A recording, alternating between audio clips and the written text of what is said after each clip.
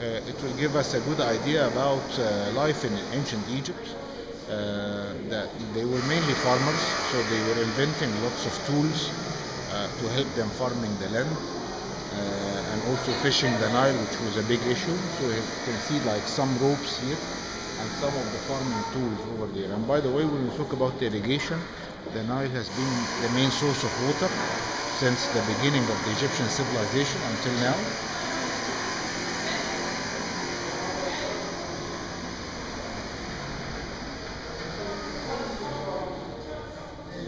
Invented one of the tools which is known as the shadoof.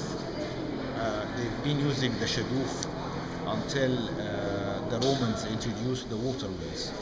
So here we can see some beautiful paintings from the tomb, and this is like description of heaven, uh, how they were expecting the afterlife or uh, the second life.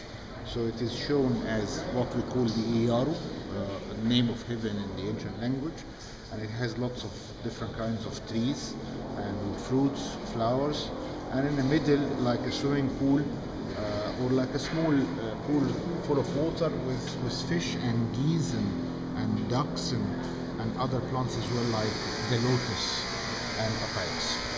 Uh, here we have a beautiful hunting scene uh, showing uh, the nobleman and account, uh, accompanied by his wife. Uh, if you look at the, the, the, the wife next to him, she's wearing a wig, but she has like a little con on the top of her head. And that used to be full of uh, perfumed oils. So when they, they make like physical effort, moving, dancing, whatever, uh, then the, the, that perfume oil is melting down and covering their bodies like deodorants. And you can see uh, he, he, their daughter uh, sitting just uh, under legs and touching his leg uh, very gently uh, with the side look of the hair, which is one of the symbol of, of ch- childhood in ancient Egypt. Another hunting scene.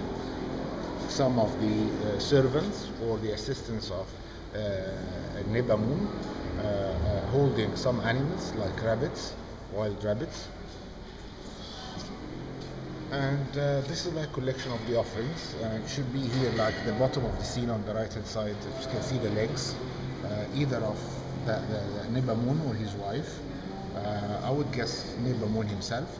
And uh, we see the number of the offerings here on the offering table should be uh, in the tomb to be used in the afterlife as well.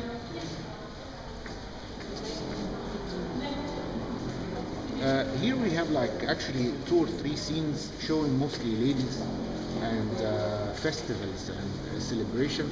Um, uh, what was common in, in ancient Egypt, especially for the noblemen, when they, they uh, build the tombs and decorate them, they show that as if they are inviting their friends and their relatives to the afterlife. So it's like kind of a wedding or uh, a reception.